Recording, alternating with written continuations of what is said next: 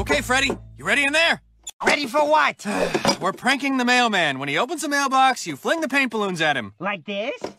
Freddy, what are you doing? I thought you gave the code word. What? That's not a code word. Let's make the code word papaya. Code word is not papaya. Look, let's go over this again. Did someone say papaya? Dude, no one said papaya. Would you please stop saying papaya? You know, I'm not crazy about papaya. Let's make the code word rutabaga. Or how about avocado? I still like papaya. Who? I said it. That's all of them. Three hours later. Can you move it along? I'm all out of time cards. Hello, no longer the farmer's residence. Otis speaking. What? I didn't order any papaya.